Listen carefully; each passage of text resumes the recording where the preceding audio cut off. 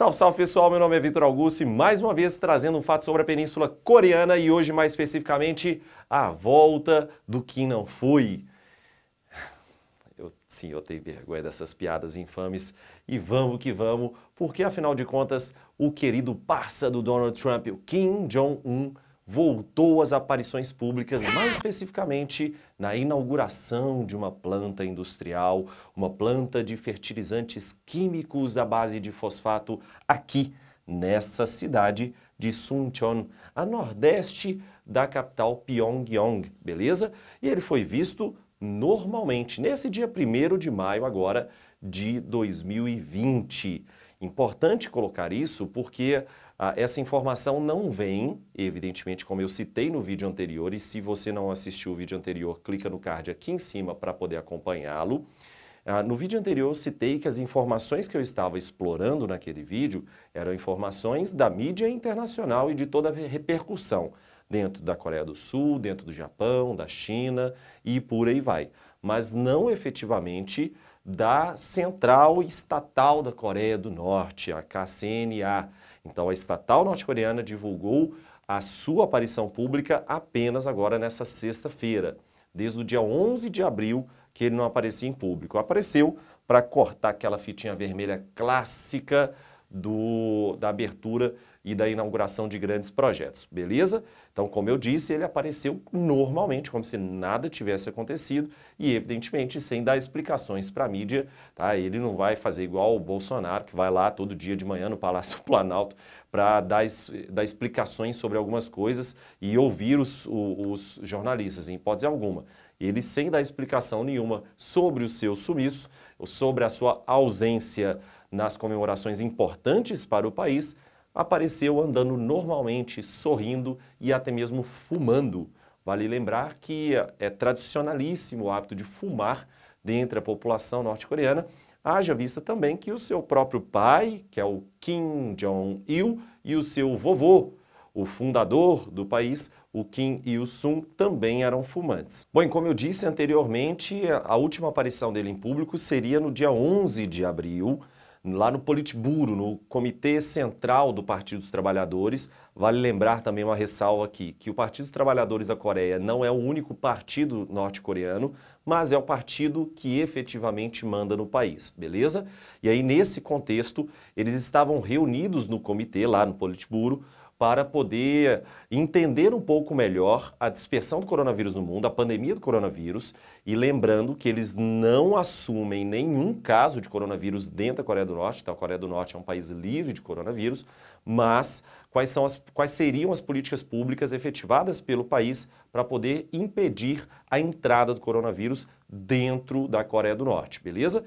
E aí, ele retorna agora no dia 1 de maio para a, o corte da faixa e a inauguração dessa fábrica de fertilizantes à base de fosfato lá em Suncheon e uh, foi recebido pelos trabalhadores e pela população que acompanhou essa cerimônia, uh, de acordo com a estatal, com a CNA, a, a gritos estrondosos e gritos de urra. Você imagina, quase como se fosse uh, os 300 de Esparta, com o Kim Jong-un chegando lá nessa planta industrial. E vale lembrar uma outra coisa também que é muito importante, o Donald Trump foi questionado, quando eu falei do BFF Donald Trump, ele foi questionado sobre isso e disse que não iria comentar nada sobre a situação de saúde e sobre o reaparecimento do seu parça Kim Jong-un, beleza? E aí, momento conspiracionista. Será que o Donald Trump sabe de alguma coisa? Hein?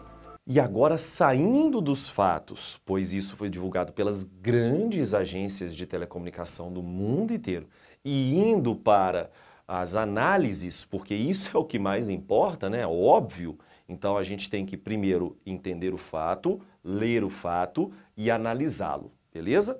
E aí eu vou começar com uma análise extremamente importante, que seria a, a relação de uma marca que apareceu no punho direito dele. Essa cicatriz que você está observando na tela agora, da North Korea News, que é uma agência informal, né? Obviamente não é agência estatal norte-coreana, mas é um Twitter que funcionam como agência super informal, trabalhando com essas imagens e divulgações sobre conteúdos da, da, da Coreia do Norte. Além disso, também tem o Will Ripley, que é um correspondente da CNN, que trabalha bastante no continente asiático e já visitou mais de 19 vezes a Coreia do Norte. Ele também falou bastante sobre essa cicatriz.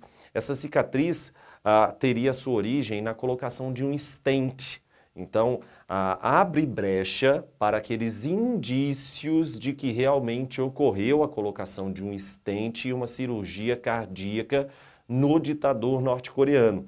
E é por isso, por essas análises, é bem interessante pensar que ele pode ter ficado esse tempo mesmo, pode realmente ter feito essa cirurgia e corrobora com aquela, aquela equipe médica que saiu da China e foi dar suporte para o ditador, como eu disse no vídeo anterior. E além de, também dessa análise sobre a cicatriz, esse detalhe da cicatriz do Kim Jong-un, que é um detalhe muito importante, a gente ainda tem uma outra análise. Ah, ah muitas pessoas podem olhar para essa notícia e, e pensar assim, olha, mas tá, o que, que tem a ver ele ter inaugurado uma fábrica de fertilizante. Até onde eu saiba, fertilizante é para agricultura, fertilizante é para desenvolver agricultura. Então, parabéns para o Kim Jong-un, porque ele está desenvolvendo o meio rural, o setor agrícola e a garantia de segurança alimentar para a população norte-coreana.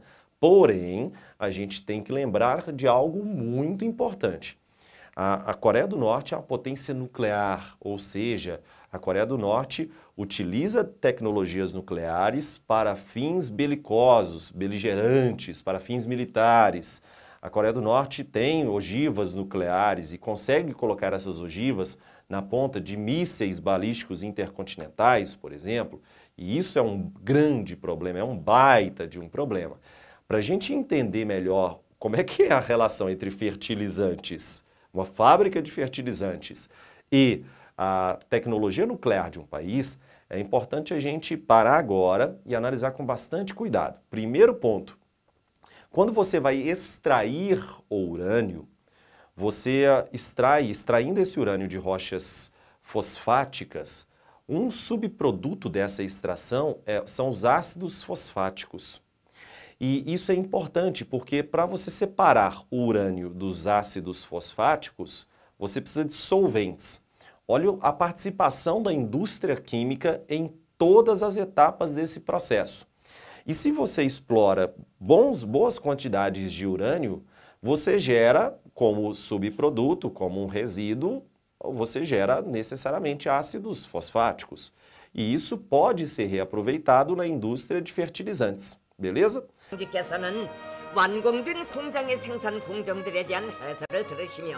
E nesse caso, a gente precisa entender que, primeiro, o país vai precisar de uma indústria química capaz de produzir os solventes, o país vai também precisar, para até mitigar os impactos ambientais da exploração do urânio, de indústrias que são capazes de produzir esses fertilizantes químicos, e isso acaba impulsionando também a produção agrícola, o que é ótimo.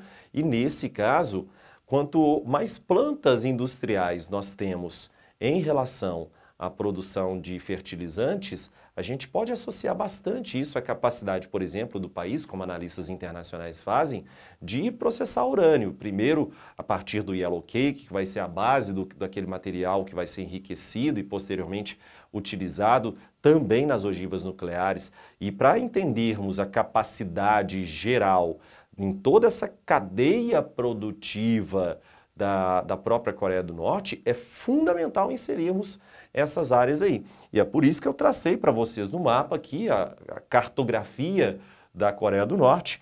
Aqui a gente tem Pyeongsan, tá? E por favor, não é o filho do Pyong, tá?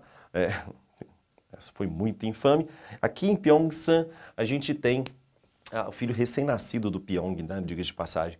Aqui em, em, em a gente tem a principal mina do país, isso tudo especula-se, né, mas com uma boa exatidão, ah, que aqui teria a principal mina e já o, o, beneficiamento inicial, transformação disso no que eu disse, no que eu chamei de yellow cake, beleza?